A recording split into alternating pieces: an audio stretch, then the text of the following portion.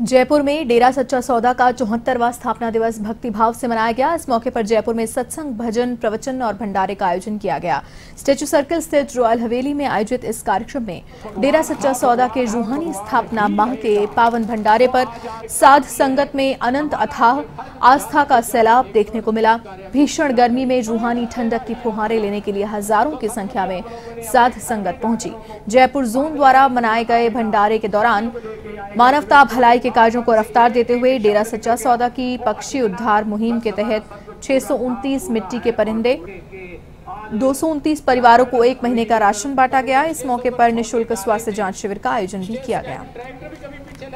चलो, जीवकार हो तो मान लिया भी जीवकार यार, पीछे लगा दे। सतगुर भगवान था, भगवान है और भगवान ही रहेगा।